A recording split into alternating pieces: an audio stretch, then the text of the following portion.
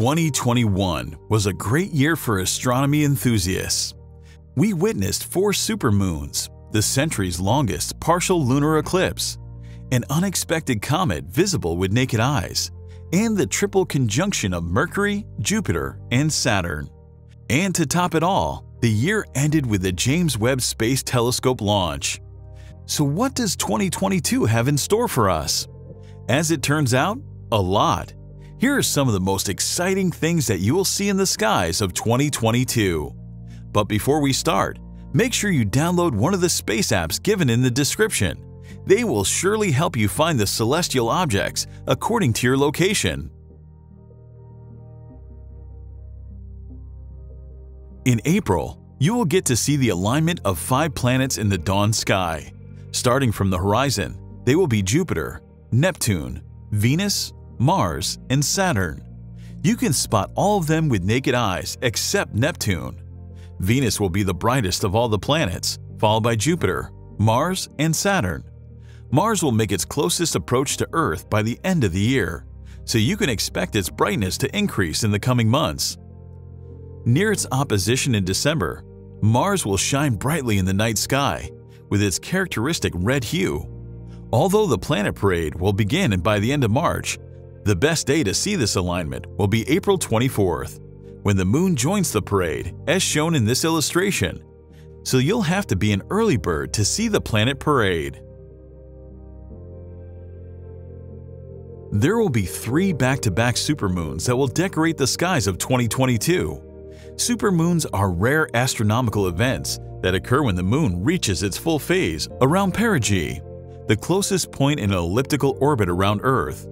As a result, supermoon can appear 14% larger and 30% brighter than when it is at the farthest point, the apogee.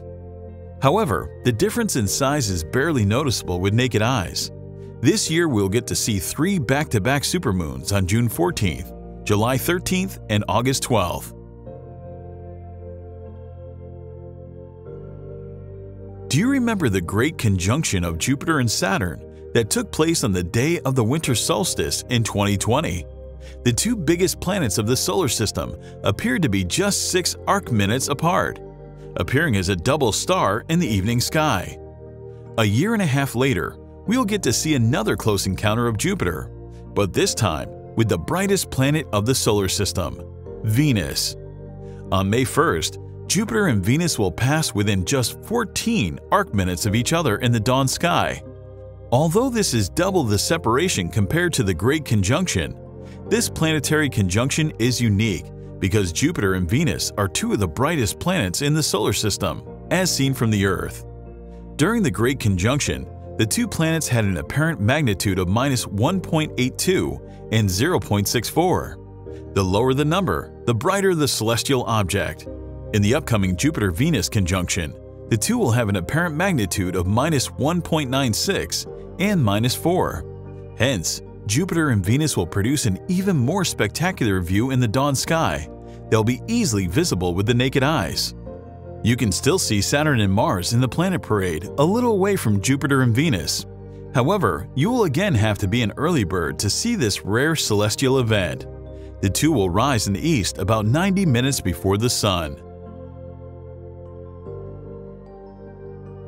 Before the conjunction of Jupiter and Venus, the two fainter planets of the planet parade will pass close to each other.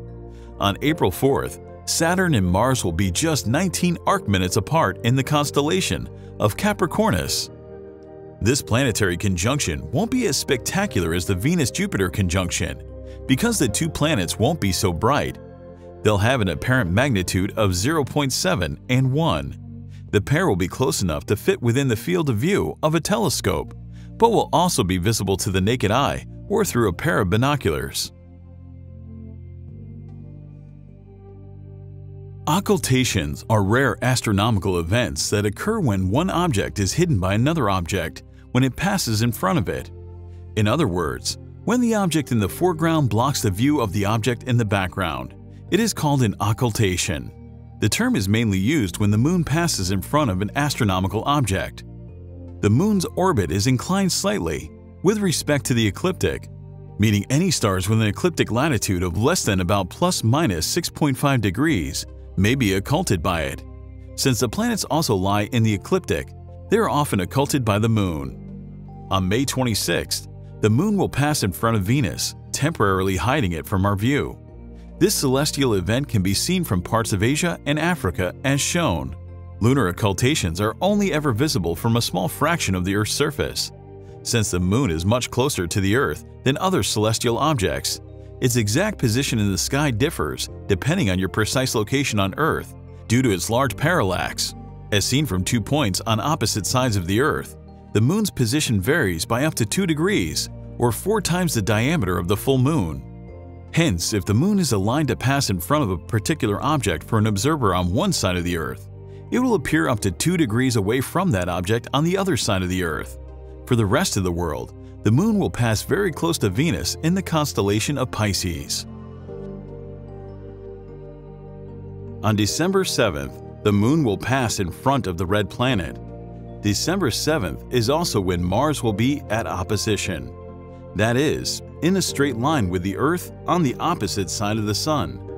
Hence, around this time, Mars will reach its peak brightness.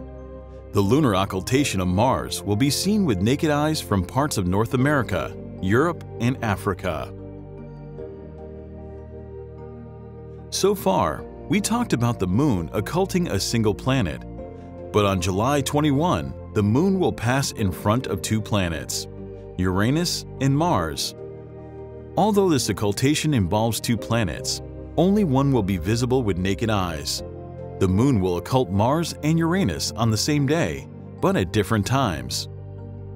The Mars occultation will be seen from parts of Eastern Asia with naked eyes, and the Uranus occultation will be seen in parts of Brazil with a telescope alone.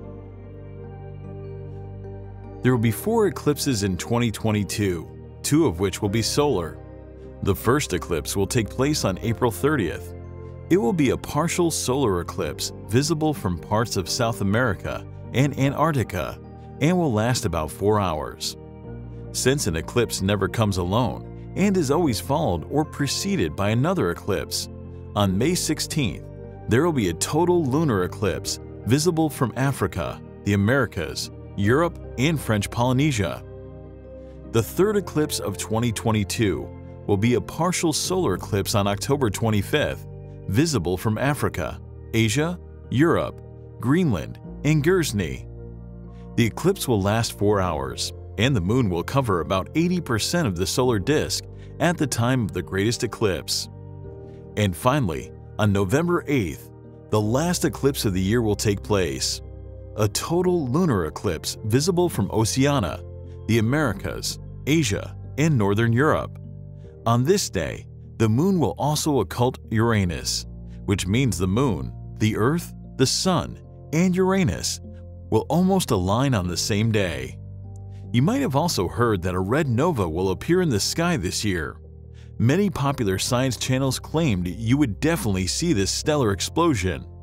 But unfortunately, it's false. This video explains the exciting story behind this prediction that grabbed the attention of astronomy enthusiasts around the world. Also, we release a monthly astronomical calendar, so make sure you subscribe to our channel not to miss any celestial event.